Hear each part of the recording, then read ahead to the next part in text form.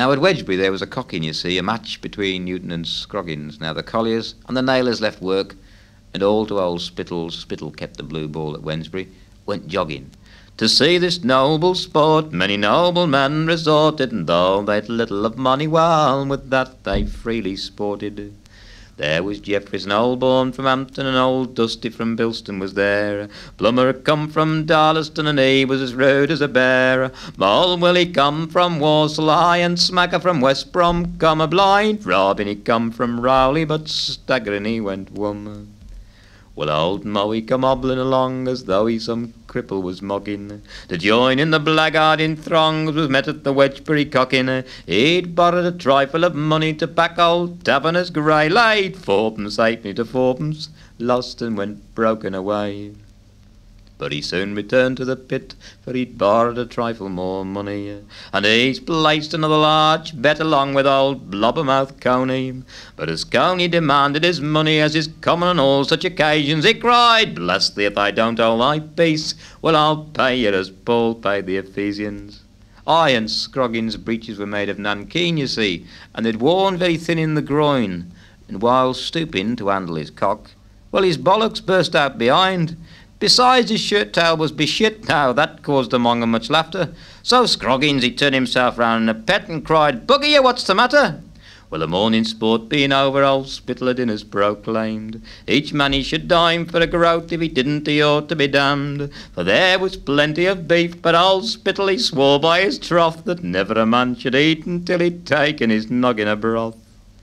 Now the beef was old and tough of a bull that was baited to death and Barney I'd got a lump in his throat as was like to have stopped his breath. Well, the company fell in confusion as seen poor Barney I choke, so they carried him into the kitchen eye and held him over the smoke. But they've held him so close to the fire he frizzled just like a beefsteak.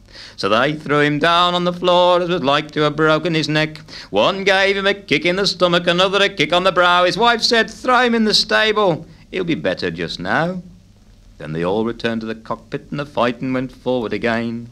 Six fights were fought on each side and the next to decide the main. For they were to famous cocks as ever the country's bred. Old Scroggins a duck-wing black eye and Newton's a shift-wing red. Well, the fight was hard on both sides till old Brassy-wing black was a choked. The colliers were tarnationally vexed and the nailers were sorely provoked. Peter Stevens, he swore a great oath as old Scroggins had played his cock foul. So Scroggins, he gave him a kick, aye, and cried, God damn your soul. Aye, and the cockpit was close to the church, you see, an ornament unto the town. On one side was an old coal pit, and the other one was well gorsed round. Now Peter Hadley, hadn't paid to get in, peeped through the gorse, the better to see the cocks fight. So Spittle, he just jobbed his eye out with a fork and cried, Buggy, that serves you right. Then the company fell in confusion and a bold fight did ensue. Kick, batter, and bite was a word until the Walsall men were subdued. Ralph Moody bit off a man's nose and wished he could have him slain. So they trampled the cocks to death, aye, and made a draw of the main. Now, some people may think this strange, as Wednesbury never knew, but those who have ever been there won't have the least doubt but it's true. For they are savage by nature, and guilty of deeds most shocking. Jack Baker, he whacked his own feather, so ended Wedgebury cocking.